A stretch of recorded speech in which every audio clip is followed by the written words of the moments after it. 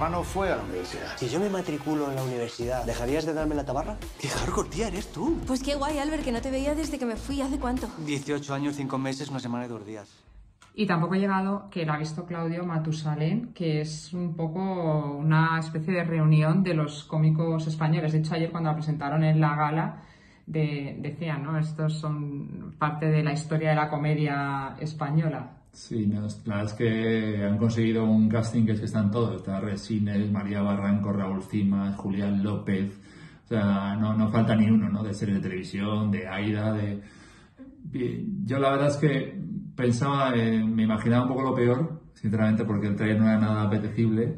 Y, y bueno, la verdad es que pasa una cosa curiosa de este festival es que han puesto comedias una detrás de otra, que antes ves una o dos comedias y yo creo que ayer conté con la de hoy, de Clara Bilbao, yo creo que es la quinta seguida. Hay un momento que dices, eh, y de las cinco, eh, la mejor la Fister con diferencia, pero esta tiene la ventaja que yo, poniendo las ocho y media, es una película que tiene.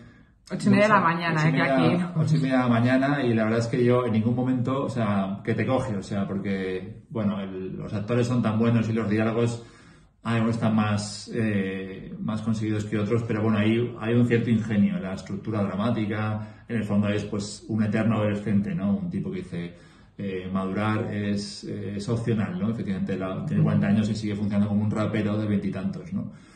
Entonces ahí hay varios saltos que le hubiesen podido dar un poco más de también de entidad dramática, de fuste a la, a la historia, para no sea todo un gag tras otro. Y creo que eso en parte lo consigue en algún momento. El director es David Galán Garrido, que ya había hecho Orígenes Secretos en Netflix, que a mí me pareció una cosa muy ambiciosa, luego se a imaginación y tal, pero no me acaba de convencer, a pesar de que estaba ahí para ISF de, de protagonista.